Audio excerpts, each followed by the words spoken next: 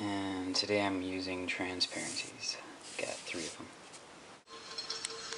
The first transparency, I'm going to cut out all the black. And I will cut out this medium gray. And my final one, I will cut out all the light stuff. So this is uh, the nation. It's got Obama's head.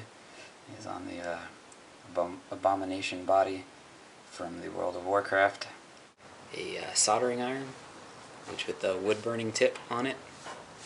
And it's still the transparency. This is the last one, so it's just the uh, the outline. I'm just going to cut this out real quick. Let me tape it down. It just melts through the plastic basically.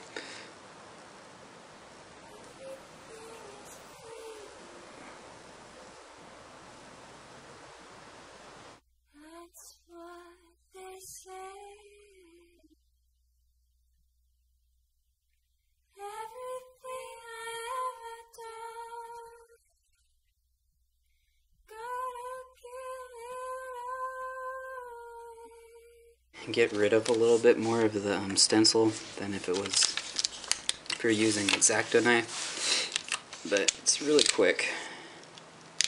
I like it so you just kind of pop it out.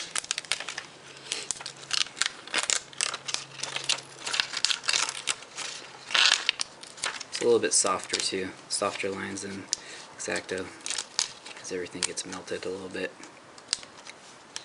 It's really quick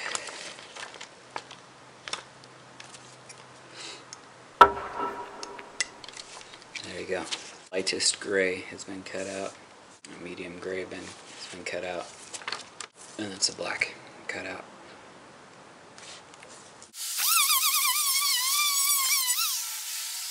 Alright, so it's sanded. I'm gonna, um, got this wood stain here. It's a water-based wood stain. And it's blue. Wrong color. Alright, now I got the red wood stain. One glove, cloth.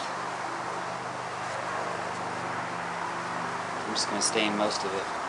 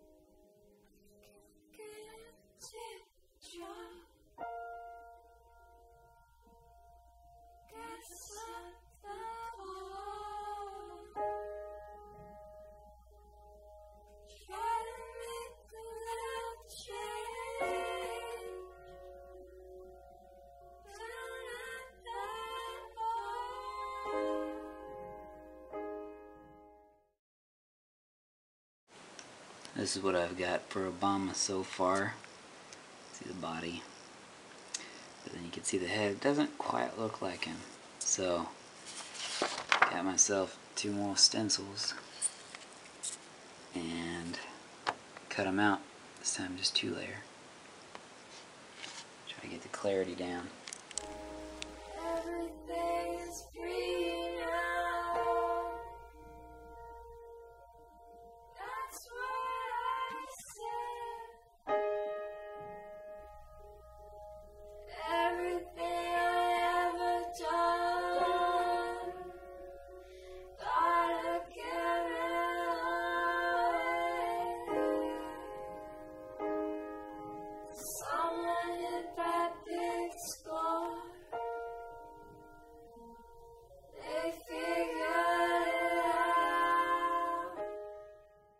So I just sprayed the second stencil over the first stencil and it looks a lot better.